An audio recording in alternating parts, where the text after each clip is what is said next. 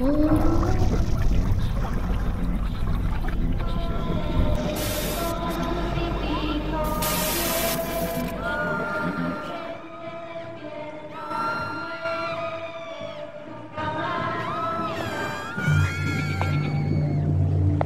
En tiempos anteriores, antes de que el agua potable que hoy conocemos fuese eficiente como lo es hoy en día, la gente acostumbraba salir a estanques, ríos o alguna zona natural donde ésta fluyera, donde lavaban su ropa, sus trastes y era demasiado común, tanto que ahí gente se conocía, etc.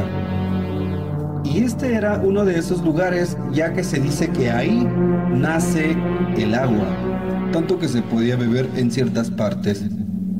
En aquel tiempo era una zona solitaria, serena y rural. Cuenta la leyenda que una mujer de aspecto hermoso acudía a lavar sus ropas en las aguas límpidas a medianoche. Este de por sí ya es bastante extraño. Cuentan unas personas que caminaban por el rumbo a altas horas de la tranquilidad de la noche, vieron a una mujer realmente hermosa notaron que tenía un hermoso y grande cabello color negro que contrastaba con su muy elegante vestido blanco. Cuentan haber sentido una seducción inmediatamente ante la belleza de la mujer y una gran necesidad de quererle declarar su amor eterno, como si hubiesen sido manipulados por una fuerza superior, incapaces de controlar la situación, algo más allá de su entendimiento algo sobrehumano. Los enamorados, como dije, no dudaron al acercarse y entre cada vez más se acercaban a su objetivo, una serie de sensaciones los dominaban, incluyendo enamoramiento, fascinación, emoción, adrenalina, combinados a su vez con nervios y miedo. Algo les estaba advirtiendo, dentro de tan extrañas sensaciones juntas y para su sorpresa, cuando se encontraban a centímetros de ella, la mujer giró su cabeza en dirección hacia ellos.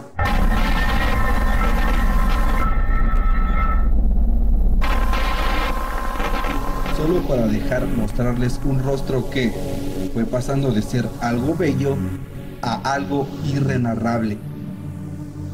Se desfiguraba de más en más convirtiéndose en un horrible monstruo, algo peor, en conclusión, en un demonio. Evidentemente los individuos gritaron y corrieron hasta llegar a su lugar. De ahí en adelante siempre evitaron transitar cerca de la alcantarilla. La leyenda se siguió alimentando por más personas que aseguraron haber vivido la misma experiencia resultando que a más de uno en la población de ese lugar temiera y evitara transitar las calles aledañas. Si te gustó este video y te gustaría que subiera más leyendas de mi de algún otro lugar, las investigo para subirlas, pero antes dejemos como meta que este video llegue a 100 likes, solo para cerciorarnos que les ha gustado y que valdrá la pena subir otra leyenda local. Suscríbete a este canal y